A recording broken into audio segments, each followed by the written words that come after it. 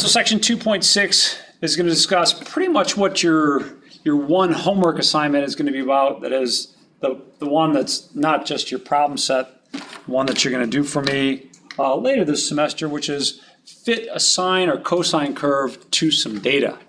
So how is that going to look? Well, let's take a look at the example that I have for you on that Desmos link, which is the average monthly temperature in Anchorage, Alaska. So, nice, you know, it's kind of got, you know, what looks like might be the beginnings of a sine or cosine shape. But to make it a little bit more clear, what I'll do for us is I took my data set and I'm just going to extend it. I'm going to repeat those values on the y-axis here, and that's going to give me another set of data. And okay, that's starting to look like a, a sine or a cosine wave pattern. So great. So let's say we're going to try and fit a sine function to that. Well, looks like a sine graph, right?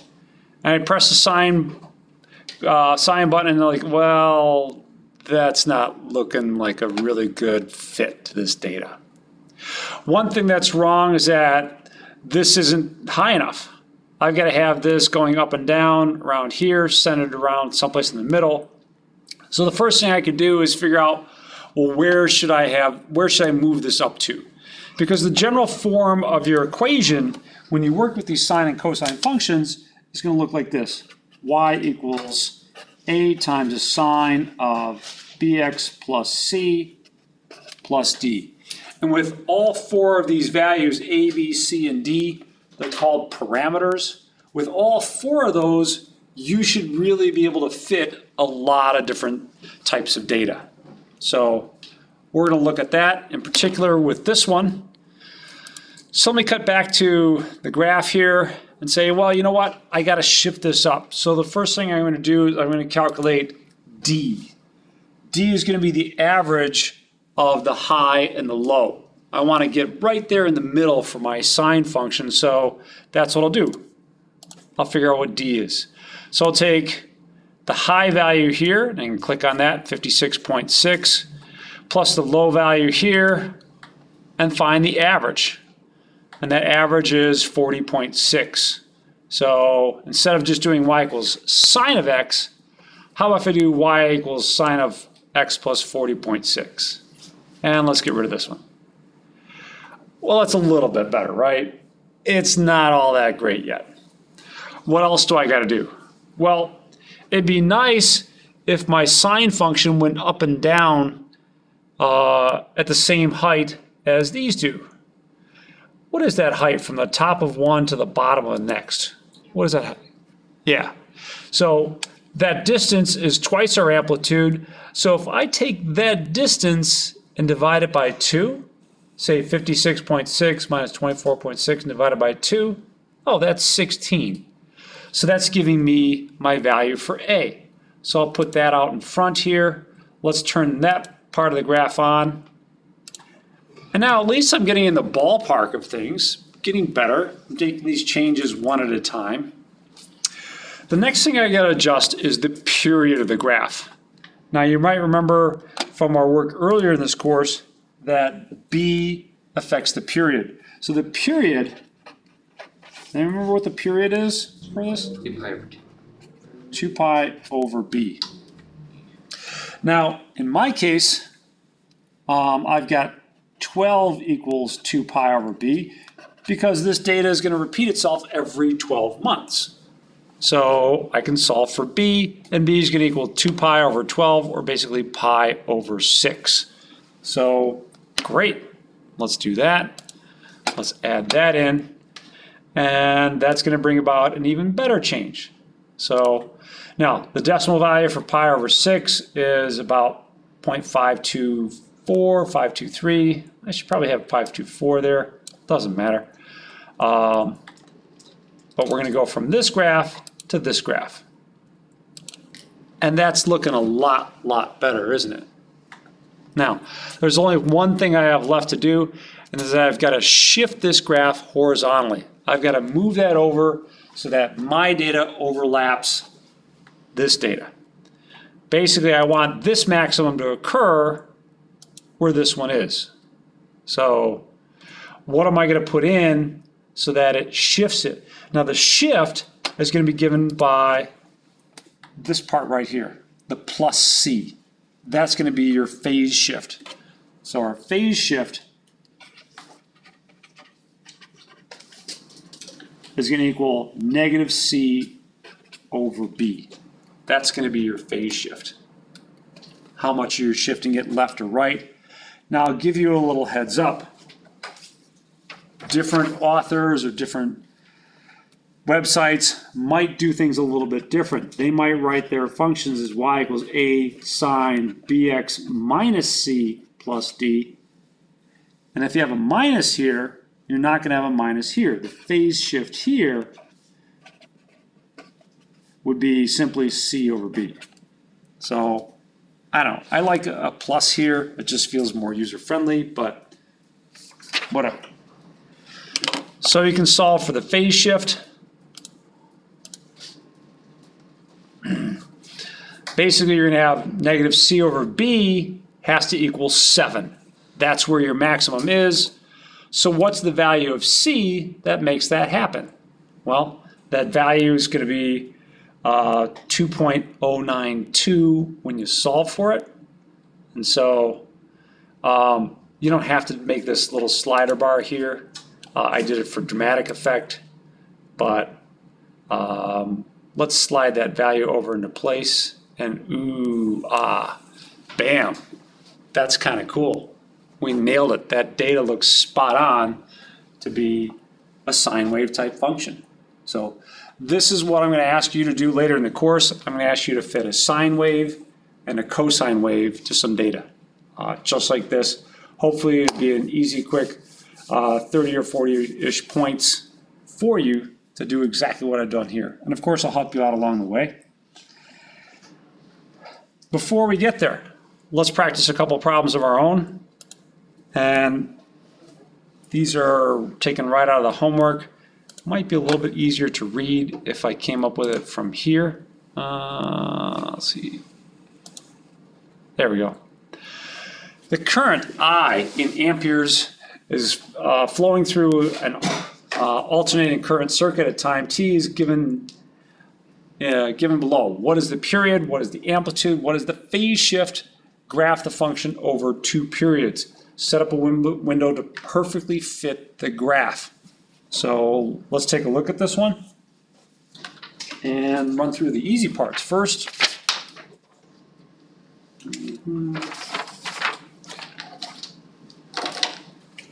All right, so I'm gonna uh, write this one down real quick.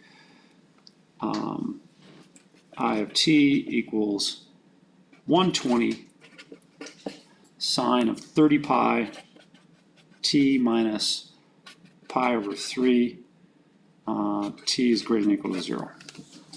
Okay, let's see what we can figure out about this. First of all, what's the amplitude? That should be an easy one.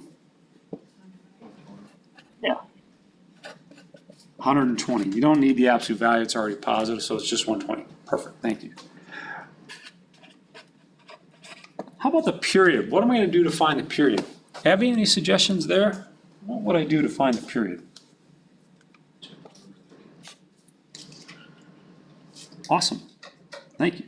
Two pi over 30. Actually, two pi over 30 pi, which simplifies to 1 15th. So, okay, beautiful. And there's one other thing that I want to know here. What's the phase shift? Phase shift is going to equal negative C over B.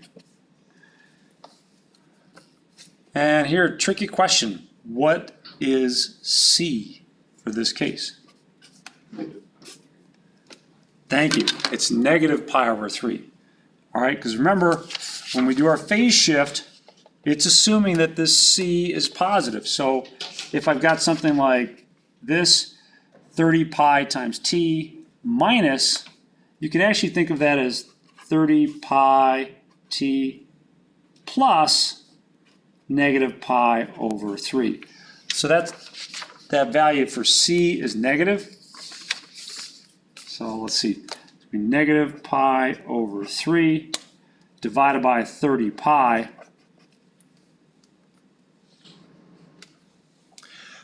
So this is a fraction phobe's nightmare, complex fraction like this.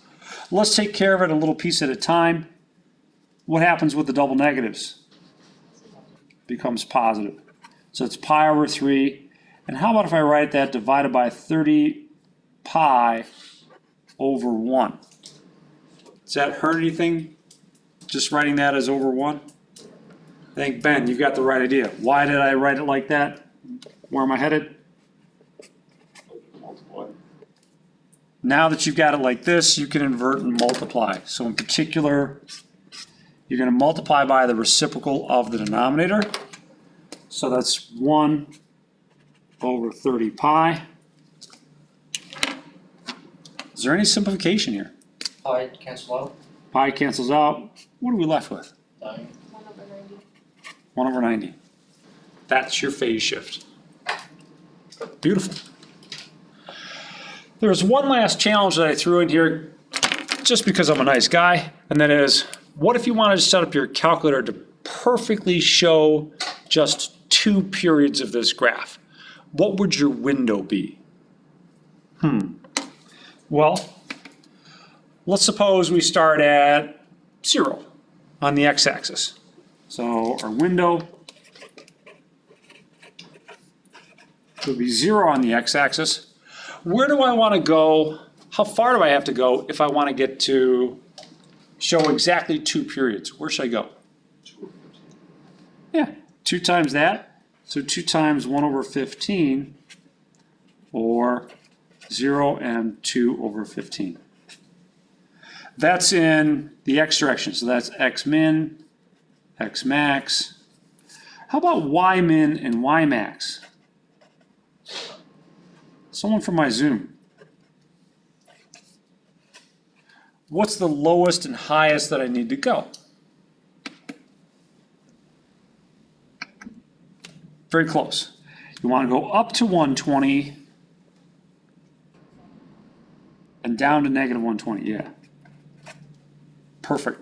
That should give me exactly two periods of this graph if I wanted to be kind of really spot on about this. So let's take a look here. Let's clear out that, this. Um, Now, as I graph this, I'm not gonna use t, I'm gonna use x. So it's gonna be one twenty sine of thirty pi x x minus pi over three uh, pi divided by 3. And now I want to set up my window. Wait, we, doesn't it need brackets over pi over three? Great question, no. Doesn't, because you're just subtracting that, so it'll subtract. When it, when it does the calculation, division comes before subtraction, so it'll do the division and then it'll do the subtraction. So, good question, it doesn't need the, the brackets there. Window, zero, two divided by fifteen.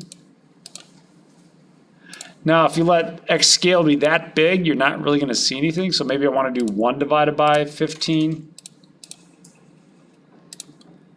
That way I can see something. Negative one twenty to one twenty. I probably shouldn't leave y scale equal to one, because that would give me like two hundred and forty tick marks up and down the y-axis, and my y-axis would be kind of crowded there. So let me choose, say, forty for Y scale, and then graph. Beautiful. Exactly two periods of the graph. It perfectly fits into my window.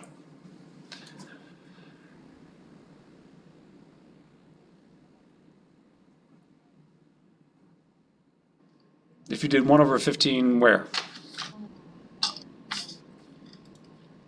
Oh, yeah, it did one over fifteen. Yeah, you, you could do anything you want for the scale. I mean, you could use, say, 0.05 if you wanted to. I mean, I, what I'm looking for is, is, uh, is that the graph fits the window perfectly. I mean, this, this is finesse a little bit on the X scale and Y scale. I'm just trying to make you a little bit better and adept at graphing these things, but I mean, the, the point is not necessarily to become a perfect grapher of these kinds of things, uh, on the graphing calculator. Um, You should have an idea, and these are things that can help you, but, you know, you don't have to be perfect with it. All right, this kind of problem might even be extra credit. We'll have to see how it goes. Thanks for the question. Anything else? Let's actually try and do some curve fitting like we did just a minute ago. And let's go to this example. Uh, actually, you know what? Oh, this one's actually gonna work in the opposite direction. This is for the graph.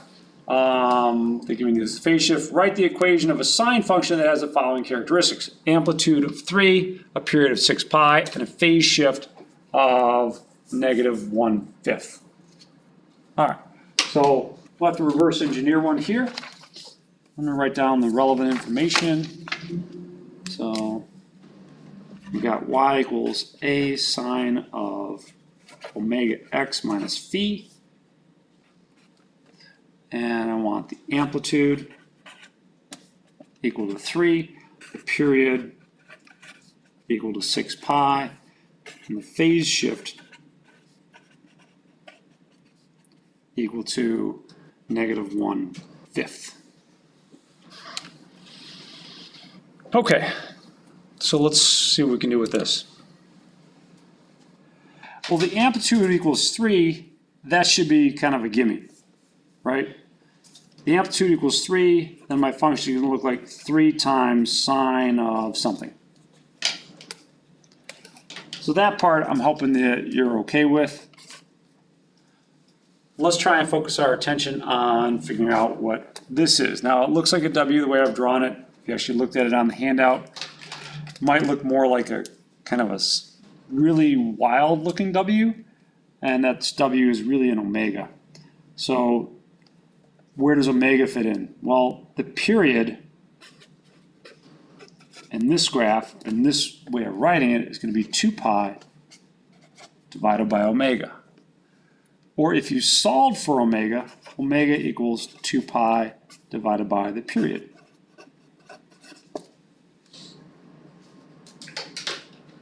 So what's the period to equal in this case? Or what's omega to equal, I should say?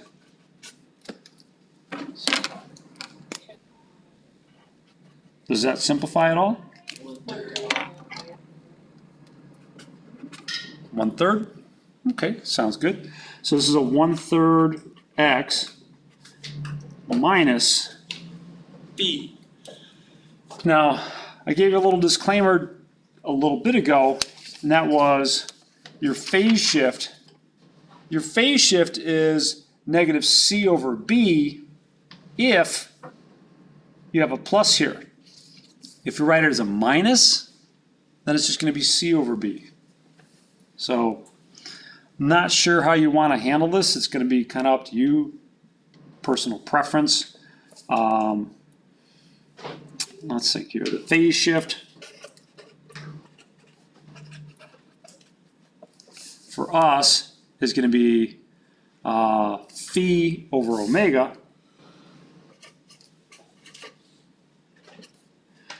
And since we already know what omega is, it's going to be phi over one third.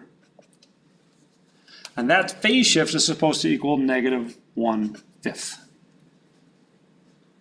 So again, we get something which is a fraction lover's, no, not nightmare, but probably not excited about this. Phi over one third equals negative one fifth. And let's see what we can do with that. How about if we clean up the left-hand side first? Now we- Multiply by three. Um, not yet, not yet. Let's, let's hold off on that. You're dividing something by one third. When you divide by a fraction, it's the same as doing what? Multiplying by the reciprocal. Multiplying by the reciprocal. What's the reciprocal of one third? Three. Three. So this is really like three over one times phi equals, oops, not negative one fifteenth, I'm getting ahead of myself, sorry. Um, Equals negative one fifth. So in other words, this is three phi equals negative one fifth. Almost done. Now, earlier today, we had a problem like this, and I made a suggestion as to how to solve. You could divide both sides by three, but yeah, there's probably a more user-friendly way to solve this. To solve three phi equals negative one fifth. What was that user-friendly way?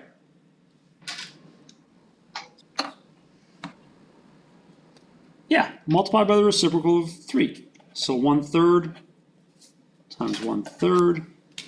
And that's gonna leave me with phi equals what?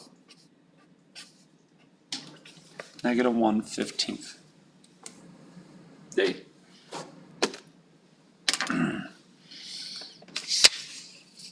All right. So last but not least, we're gonna put that, put into um, this model y equals a sine of omega x minus phi. So that all turned out to be three times a sine of, where was it, um, one third x minus negative one fifteenth. Then, somebody in the front row kindly said, oh, well, that's the same thing as plus one fifteenth. Yay. And that's it.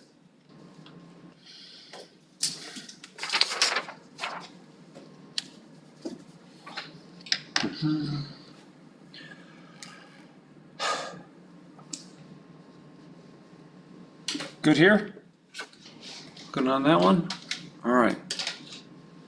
You. Let's get to some of the heavy hitter ones, like example C.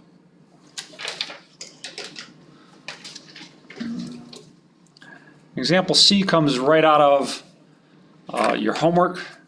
And I think I've already given you an example like this. We, we did run through one like that with you. So let's see, first of all, if we can't fit something of the form a times sine of bx plus c plus d to this data set. All right, so let's work on that. And I'll work on it here. So the first thing I want to find is, say, d. Because I want to shift my graph up so that it's in the center of my data. You remember what we did to find D? There was something with the maximum and minimum. Average, Yeah, find the average. So D is going to equal the average of 25 and eh, looks like 57. 25 plus 57 over 2. So it's going to be what? Uh, 82 over 2, 41?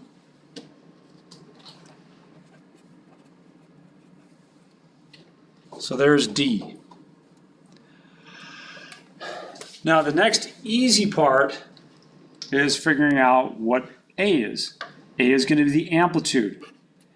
A is going to be half of the distance between the top and the bottom.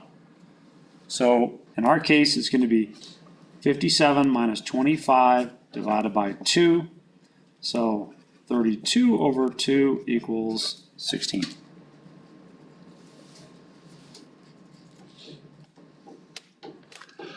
The first two are the easiest two. The next two get progressively harder. Let's figure out what b is. b equals 2 pi divided by the period.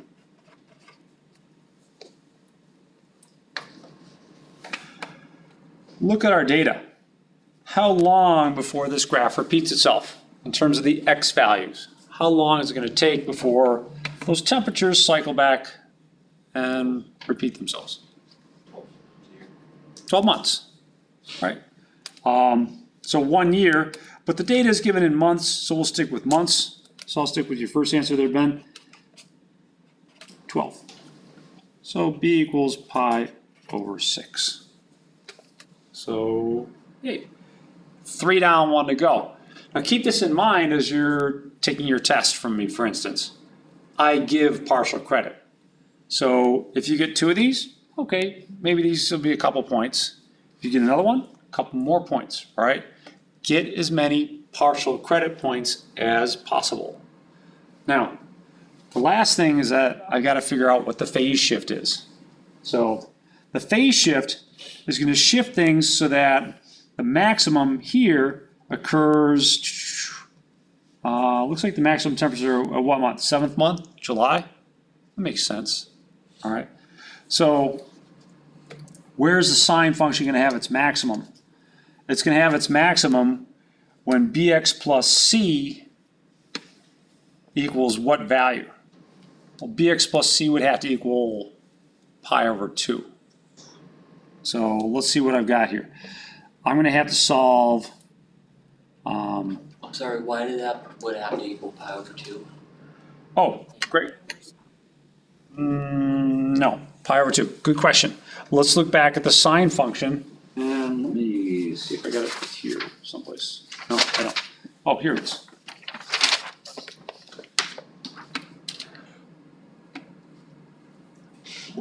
What value, where does the sine function get to its largest? At what value? Like degrees or pi over two. Yeah, at ninety degrees or pi over two, right? That's where the sine function is the biggest. Let me give you a different look at it. Let's do that with Desmos, say. Uh, let me just open up a new file here. Y equals sine of x. And let's make this a little bit bigger. Right there. Pi over two is where the sine function has its maximum, right? So that maximum is going to occur in the seventh month. So basically, when x equals seven, when x equals seven, b times seven plus c, that should equal pi over two. That's what I'm hoping for. That's what I'm going to solve for. So are we okay with why I'm choosing pi over two and seven? Seven is the value of x where the maximum occurs. So I'm gonna put that in. I already know what b is. So it's gonna be pi over six times seven plus c. That value has to equal pi over two. Now it's just a matter of solving for c. So let's see what that gives me.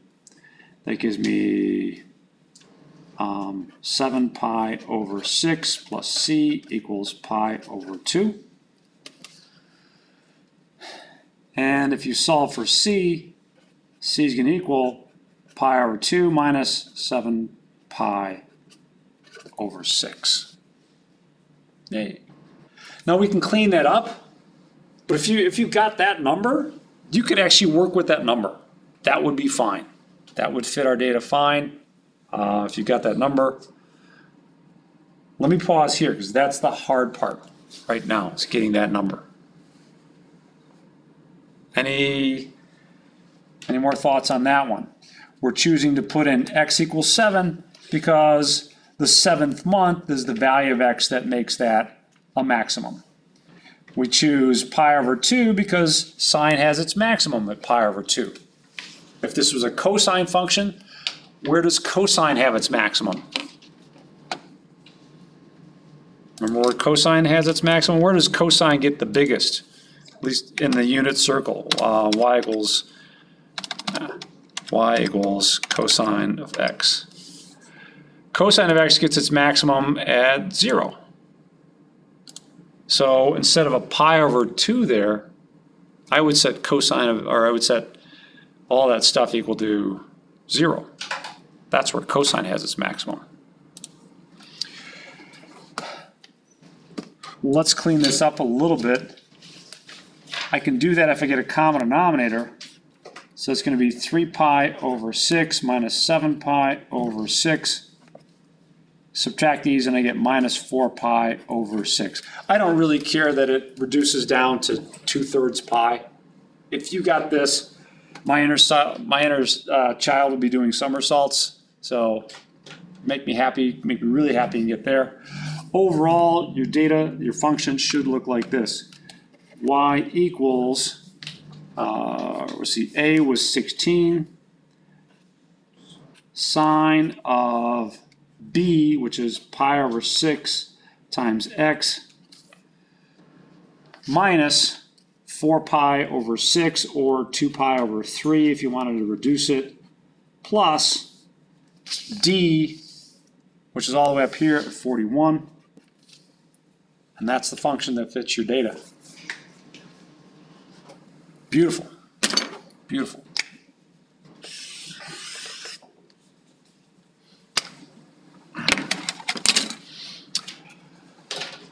Comments on that one? Other than, please don't put too many of these on the exam. All right, that, that one is challenging, I, I understand it. But what I've done in this course is I've replaced something called the five-point method with this. And the five-point method, I really liked it, really thought it was cool, and other instructors use it, but uh, I've come to the decision that, you know what, it's more important for me to, for you to be able to fit a sine or cosine function to some data. I think that's a better skill, a little bit more practical. So if it's any consolation, like I said, you can feel better that we're not working with um, the five-point method. I left it out there if you want to see it. Let's see if we can't squeeze in one more. Uh, Um, in a certain city, the number of hours of sunlight in the summer solstice in 2014 was 18.36. So let me kind of zoom out a little bit on this. Um, I'm not getting cut off a little bit here. Uh, let's see, view, down. There we go. The number of hours of sunlight on the summer solstice was 18.36, and the number of hours of sunlight in the winter solstice was 16.48. So what that's giving you is kind of like the high and the low. So high, for example, uh, this is example D. The high was 18.36, nothing like being precise. And the low was 6.48. All right, so that has to be a pretty northern city, I'm guessing. And the number of hours of sunlight on the winter solstice. Hint, the summer solstice occurs on the 172nd day of the year. So, so high is at x equals 172. That's what they're giving you. There are 365 days until the next summer solstice. So that's telling you something else. The period for this one is what? 365. You want to fit a sine or a cosine to this one? Doesn't matter to me. Preferences, cosine? So let's fit y equals a times cosine of bx plus c plus d to our data. So we've got all this information. Let's see what we can't make of it. All right. So first thing first, I need to figure out what d is. That's the, that's the low hanging fruit. So d is going to be the average of the high and the low. That's going to be our middle value. So 6.48 plus 18.36 divided by 2. Has anyone got that one for me? What is it? 11.42? Someone else confirm that? Yeah, I got twelve. twelve point four two. 12.42? All right, 12.42. How are we gonna find A, the amplitude? Subtract the two. Yeah, subtract the two, so eighteen point three six minus six point four eight divided by two. Uh, should be a little bit less than six. Um, Five point nine four. five point nine four.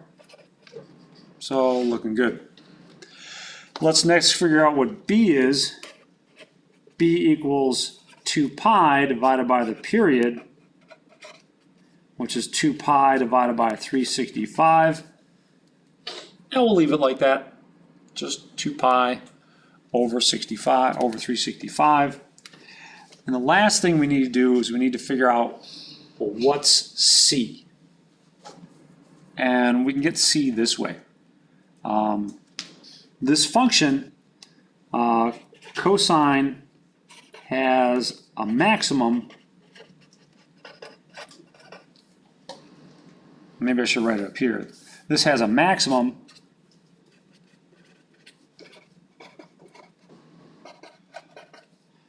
At the cosine of zero, right? Cosine of zero, that's as big as you're gonna get. So when, when you're taking the cosine of zero, that's when it's the biggest. Now, you're gonna get that when the value of x is hundred and seventy-two. So when x equals one seventy-two. So I'm gonna put those two things together. So that's gonna mean for us, we need to solve um, b, which is, well, so let me write it in general. bx equals c for x equals one seventy-two. So it's gonna be b, which is two pi over three sixty-five, times one seventy-two plus c equals zero.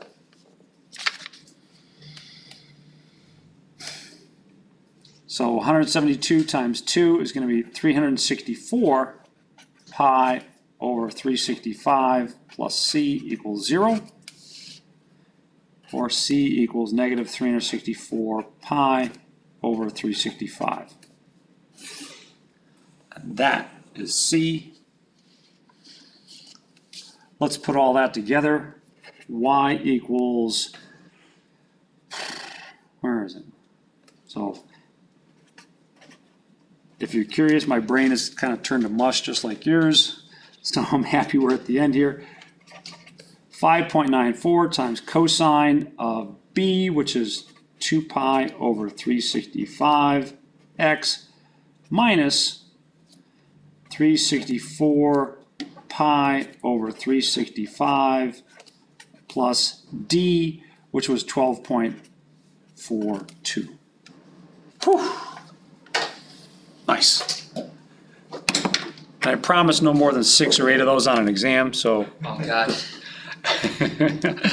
so no worries, no worries. Those are a lot to take in. I think I might have a couple more examples of this on my YouTube channel here, so if you look around, you might find one or two more. Uh, This is what I expect on the homework. On a test, I might try and make some of the numbers easier. And those, some of those weren't exactly pretty, but overall, you should be able to do all different phases of this pro- process. Question? Anything else from our Zoomers? Do the hand icon if you're. Yep. Let's stop this here.